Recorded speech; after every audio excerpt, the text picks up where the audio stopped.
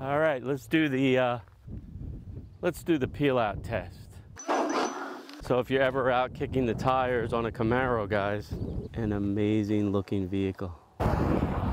Just a great looking vehicle.